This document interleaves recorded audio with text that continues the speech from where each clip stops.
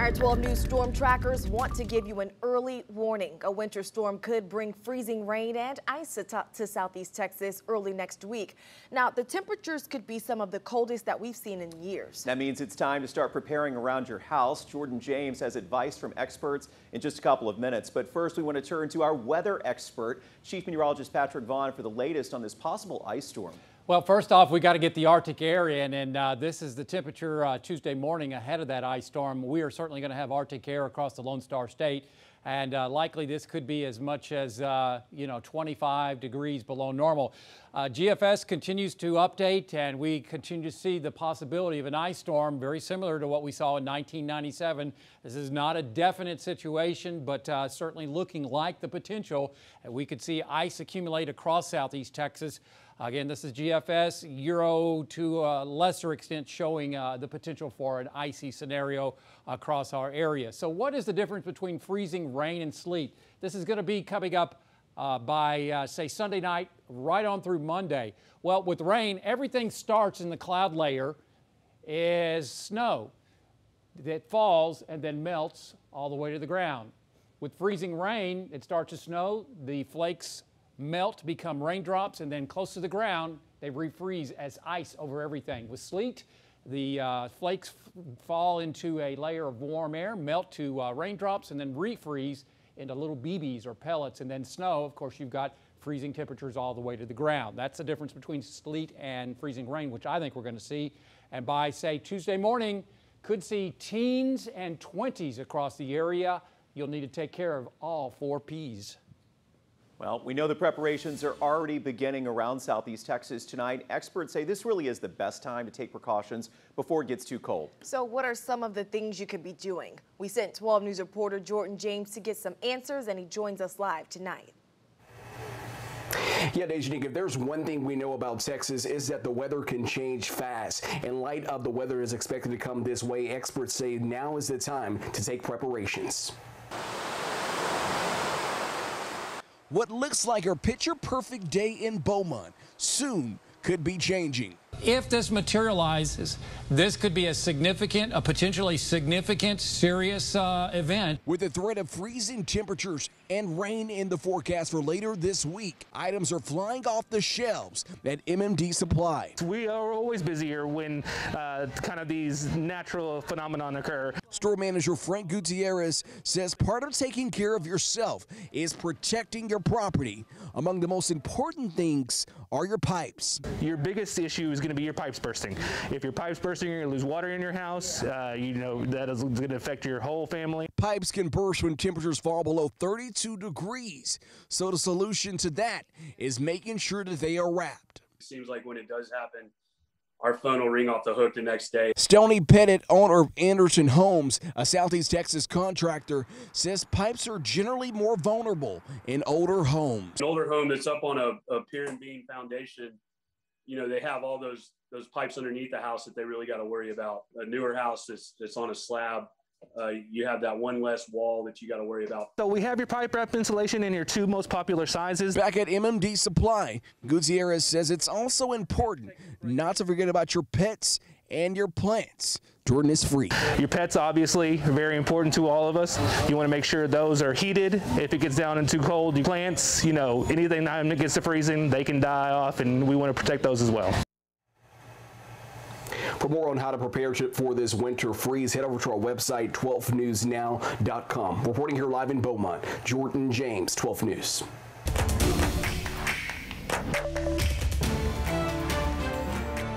Tonight, 12 News Investigates is checking into COVID-19 testing sites that are popping up around the Golden Triangle. You've probably seen the signs advertising the free testing, so we wanted to know who is monitoring these sites. Now, we found out it's not necessarily the state of Texas. 12 News reporter Amelia White is live with the story all new at 10.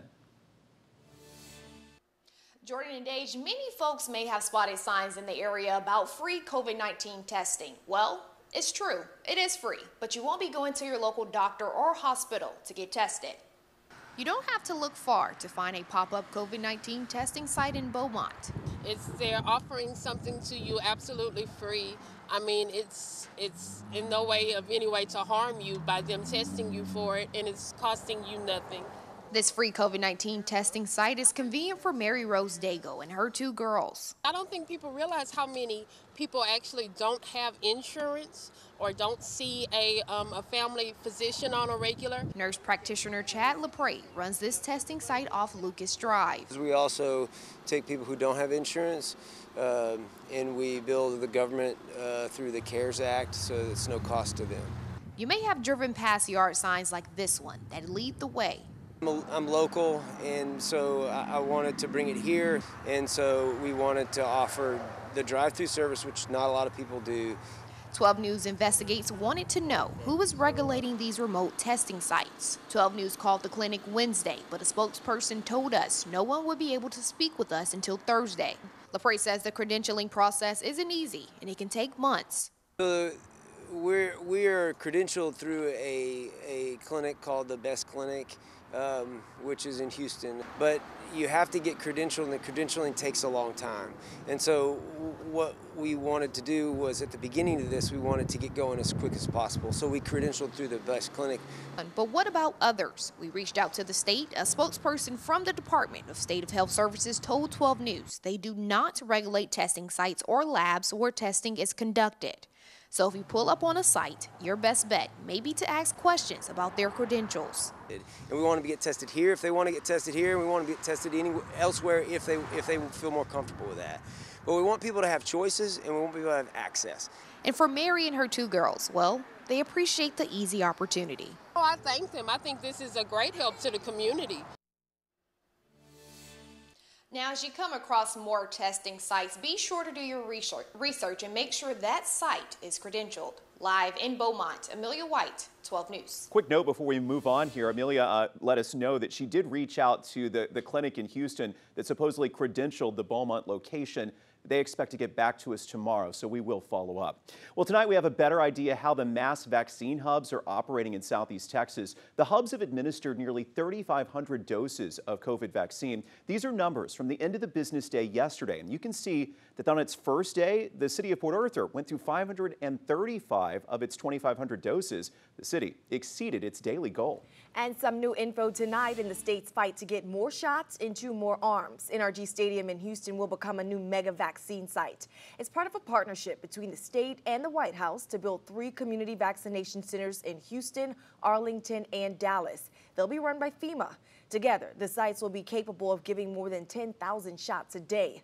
According to a press release from the White House, they expect the sites to be up and running beginning the week of February 22nd. Some new info now. The CDC says that double masking offers more protection against COVID-19, blocking more than 90% of the particles that spread the virus. The new research comes after months of criticism that the CDC was being slow to issue official mask guidelines. Now, when it comes to double masking, they say wear a surgical mask for the first layer and then put a cloth mask on top.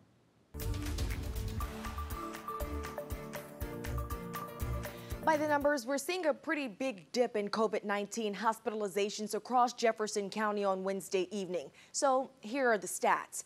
22 fewer patients are being treated for the virus than the same time 24 hours ago. Welcome news for our region. But as you can see here, the ICU beds are still full, zero beds available.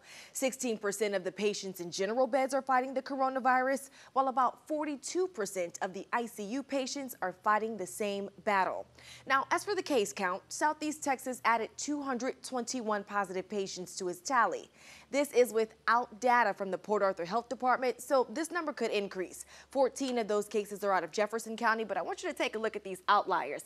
169 out of Chambers, another 22 coming from Liberty County logged. Overall, our regional hospitalization rate, 19 percent.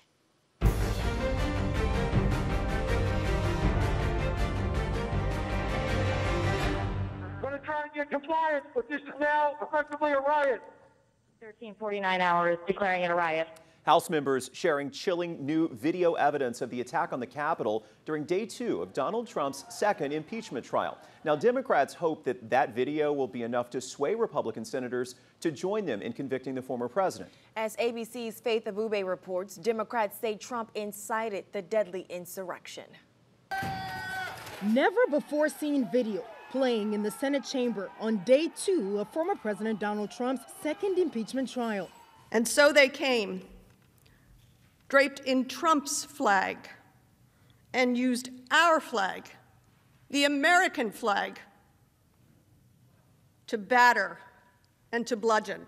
The chilling and terrifying footage showing lawmakers just feet away from Capitol rioters on January 6th. You were just 58 steps away from where the mob was amassing. That mob intent on finding the House Speaker. Nancy! Where are you, Nancy? And Vice President Mike Pence. Hey, Mike Pence! Hey, Mike Pence! Capitol police officers seen running to the rescue, rushing lawmakers to safety. In another scene, the insurrectionists banging on an office door. On the other side, congressional staffers huddled in fear, whispering for help. They're pounding the doors trying to find her. Yeah. The impeachment managers methodically laying out their case in chronological order, arguing that Trump's betrayal of his oath of office began long before the deadly insurrection. He fanned the flame of violence, and it worked. And when the violence began, the House impeachment manager saying Trump did not stop it. Instead, he served as the inciter in chief. The impeachment managers appealing directly to the senators, witnesses of the attack now seated as jurors. Some Republican senators calling the Democrats' presentation compelling. Just a very powerful video. I'm angry, I'm disturbed, I'm sad. Trump's defense team ready to make their case once Democrats wrap up their opening arguments tomorrow. We can't possibly be suggesting that we punish people for political speech in this country. Faith Abubey, ABC News, Capitol Hill. Now, each side is going to have 16 hours for their opening arguments. Democrats plan to wrap up tomorrow. No word on whether the former president's defense team will wait until Friday to take the floor.